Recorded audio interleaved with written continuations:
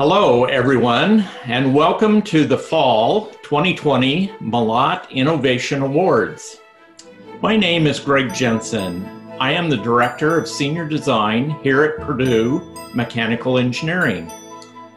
We are here today to recognize our graduating seniors as they complete the final capstone project of their undergraduate career.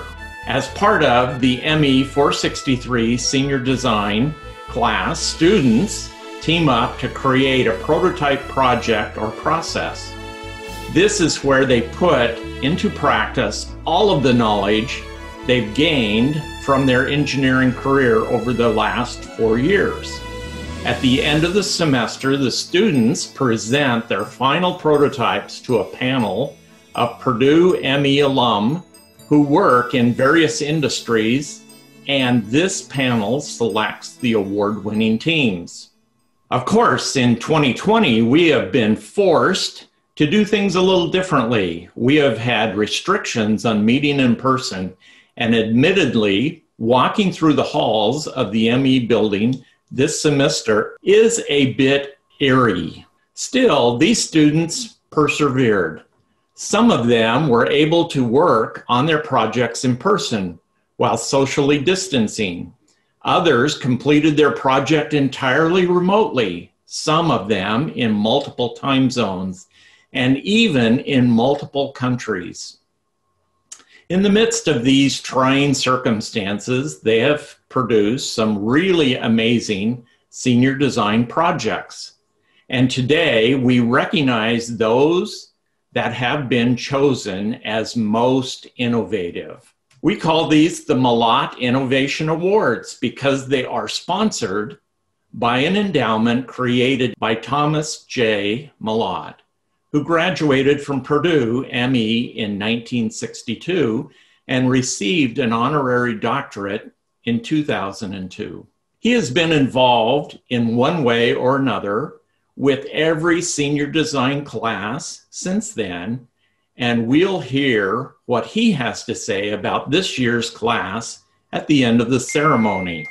This fall semester, we have had 15 total projects, most of them created by teams of four to six students.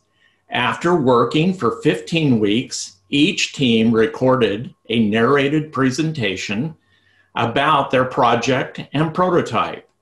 Next, alumni judges working in industry reviewed and ranked these presentations based on innovation, technical excellence, value and usability, challenge, and professional quality.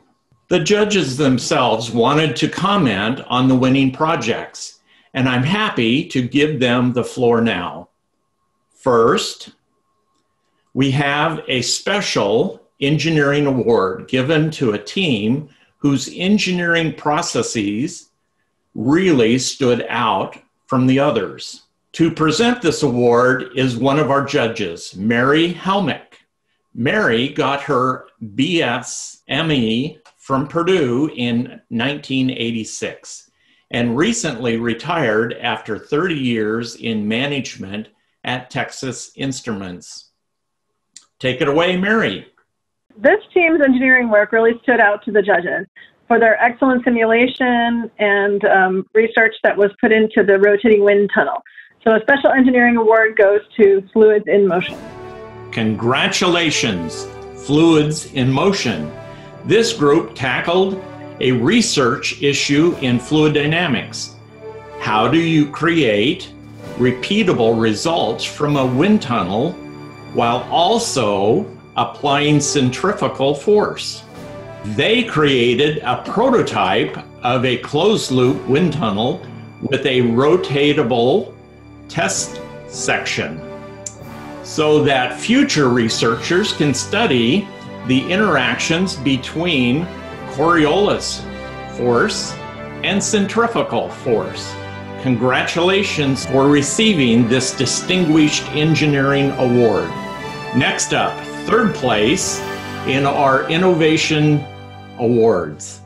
To present this award is one of our judges, Kimberly Dinkins Blue. After receiving her BS ME from Purdue in 1992, Kim went on to law school and eventually became a intellectual property attorney in Texas. And now here's Kim. This team addressed a safety issue and presented a novel solution to a problem that has cost some people their lives. The third place award goes to Pump the Brakes. Congratulations, team. These students worked on a project for manufacturer TRP International concerning the braking systems used on trailers. Rather than traditional hydraulic brakes, their solution is an electric disc brake that turns rotational motion into linear motion by using a power screw to move a piston into the brake pads, which is both cheaper and more reliable than current systems. Congratulations to Team Pump the Brakes. Now, on to our second place Innovation Award winners. Let's hear from our next judge, John Biasi. John got his master's from Purdue Mechanical Engineering in 1987 and went on to a varied career in automotives, LED lighting, and wireless mesh networking. He now works with Dean Kamen at DEKA Research, where he was instrumental in bringing the Coca Cola freestyle machine to market. Here's John with our second place winners. This team showed that innovation doesn't need to be complex. It can be simple and, sh- and solve a problem clearly and elegantly. The winner of the second place prize is Oleum. Congratulations to the Oleum team. They created a simple device designed to oil the chains of a bicycle in less than 10 seconds without any spillage. Their simple device also has the potential to be used on any machine that has chains and sprockets, which gives it greater market potential. Congratulations to Team Oleum. And now it's time to announce our first place team in this year's Malott Innovation Awards. Here with the winners is one of our judges, Robin Brands. After her BS ME at Purdue in 1987, she has worked at GE Aviation for more than 30 years, now managing the GP 7200 engine, which is used on the Airbus A380. Take it away, Robin. This team did a fantastic job. They solved a real world problem that is near and dear to my heart. They made the world a more inclusive place, solving something that means so much to people on the fringes who maybe normally couldn't participate. Um, I thought they did a fantastic job, not only technically, but with the uh, commercial aspect of the problem. And they did this across several time zones and several regions in the cloud, working the way I do in my job every day. And the winner of the first place award is All World Stage.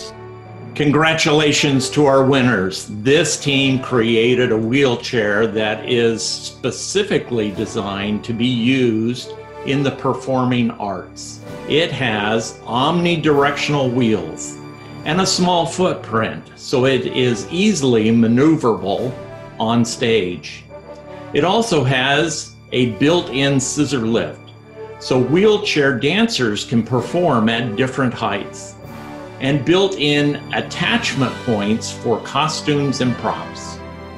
For this, the All Worlds stage team receives first place in the Malott Innovation Awards. Congratulations to them and to all the seniors who have worked so hard on their capstone projects.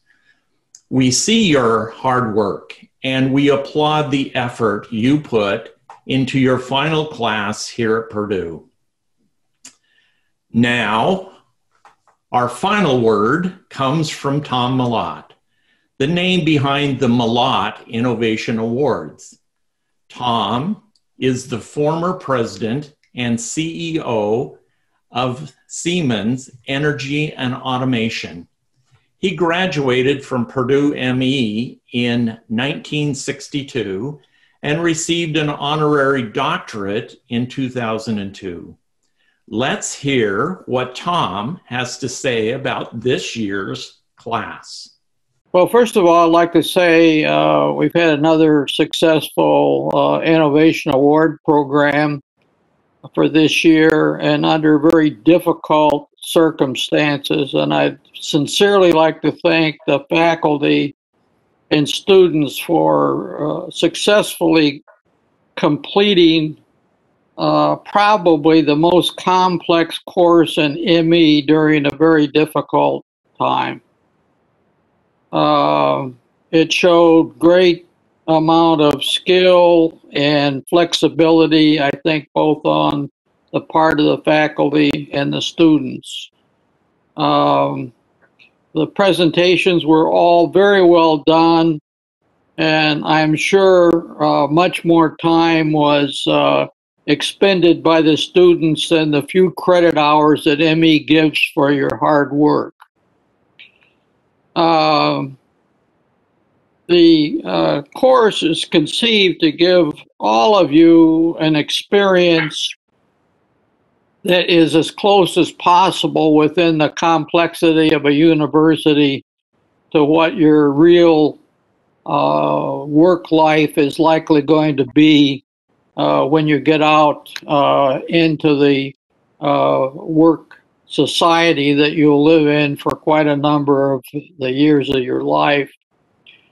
Uh, we were hoping, uh, again, that uh, what you get out of this is more than just the engineering, but it's to learn how uh, to work in teams to solve problems, to define uh, a problem rather than having somebody hand you the problem, and to figure out uh, a way to present your ideas in such a way that other people, particularly non-technical people, uh, can buy into your thought process. Uh, you're leaving one of the finest universities uh, in the world in regard to technical training, and believe me, from my own experience, uh, you are leaving with a toolbox full of of uh, technical abilities in both analysis and conception of problem solving that few people will have. You're going to find that your world uh, and your ability to get things done is not going to be limited by your knowledge from Purdue. It's going to be limited by your ability to work with uh, people from different backgrounds and different cultures. And uh, I would encourage all of the students, uh, if you have to do this on your own, please take time to put down the technical books and take your time to study human nature and the way decisions and values impact decision making. Also, many of you are going to find yourself uh, working in multicultural environments. Even in these uh, presentations today, you saw people from many parts of the world working together. And what you have to really understand is that if you're working with people like that, you need to spend the time to understand their history and their value set because decisions are finally made around value sets, not equations. And so I would hope that again, uh, you will take the time to uh, learn about people and uh, learn about values that uh, impact decision making. So, congratulations to all of you for such a great time at Purdue. I think you'll always look back on that time with uh, great pride, and uh, you'll learn out in the field that uh, it's a pretty high level of education you've gotten from good old Purdue University. Good luck. Thank you, Tom. I also want to take this opportunity to thank Tom's daughter and son in law, Jennifer and Ken Catillo, for sitting in on the judging and helping to guide this process every year. I also want to thank another one of our judges, David Sawin, who helped us to choose our winners. And finally, I want to thank all of you for sticking with us in this unusual semester. We know that online offerings can't match the excitement of in person classes, work sessions, and poster shows. But no matter how the projects came together, the innovation that our students have undertaken are just as impressive. Congratulations to all of our graduating seniors. You have worked so hard in such unusual circumstances. And what's important to remember is that you've made it. You've achieved your goal in completing a Purdue degree, and we couldn't be more proud of you. Happy holidays to all of you, and boiler up.